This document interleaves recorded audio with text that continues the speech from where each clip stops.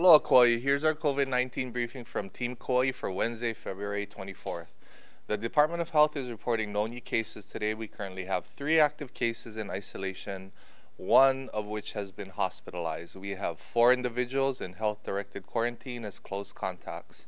Our cumulative case count is now 213, including 182 confirmed locally, one probable, and 30 tested elsewhere but reported after arrival on island. The County of Kauai and the Kauai District Health Office provides free COVID 19 testing weekdays in Lihue for anyone without symptoms. The free testing is available without appointment Monday through Friday from 8 a.m. to 3 p.m. at the convention hall. No doctor's order is required. Results are provided the same day. These tests cannot be used for the state's Safe Travels program for travel to Maui County or Hawaii Island. However, they can be used by Kauai Resort Bubble guests as a post-travel test to be released from quarantine after three days. If you are sick with symptoms of COVID-19, please do not come to the testing center. Call your primary care provider for an evaluation.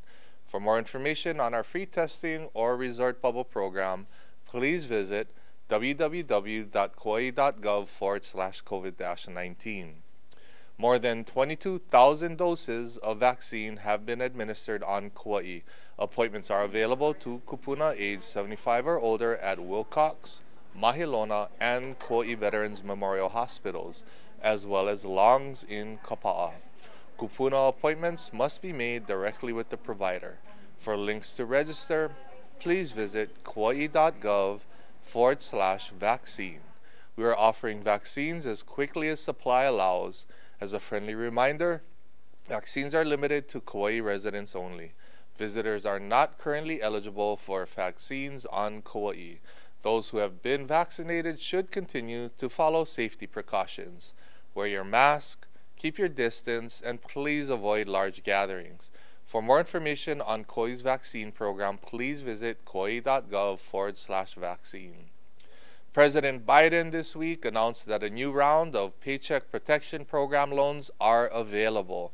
Starting today, Wednesday, February 24th, businesses with fewer than 20 employees and sole proprietors have an exclusive window to apply.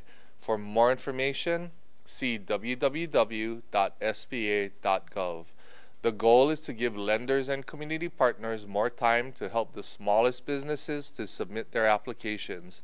Larger PPP eligible businesses can apply in a few weeks. The program expires on March 31st, 2021. Throughout this pandemic, we've had many community nonprofits step up to assist those in need. Kauai United Way is one of our key partners as it funds so many Kauai agencies that provide support to our community. This year, Kauai United Way campaign ends February 28th.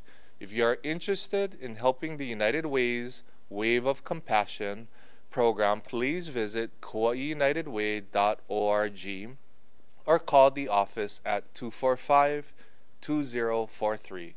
Mahalo to all those who continue to help your neighbors throughout this pandemic.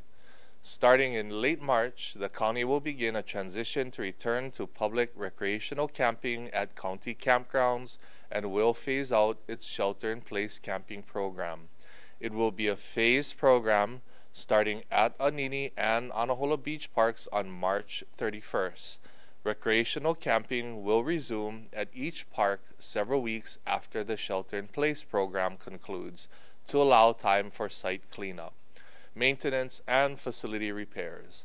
By the start of this transition program, the Department of Health reports that houseless individuals will have been offered vaccines. Mahalo to our partners at the DOH, Ho'ola Lahui, and Malama Pono for assisting in this effort. County park rangers are conducting on-site outreach of this plan. Additionally, the housing agency's homeless coordinator, in collaboration with social service agency partners, will lead continuous efforts in referring homeless individuals to available on island resources to help in their transition process.